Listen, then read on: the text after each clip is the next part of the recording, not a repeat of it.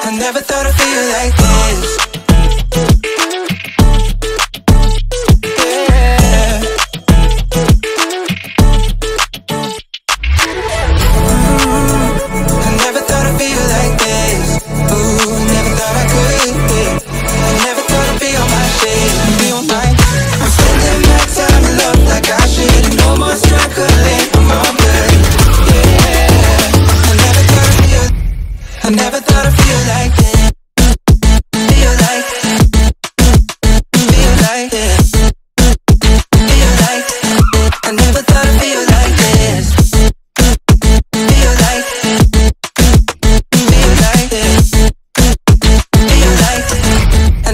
gotta feel that.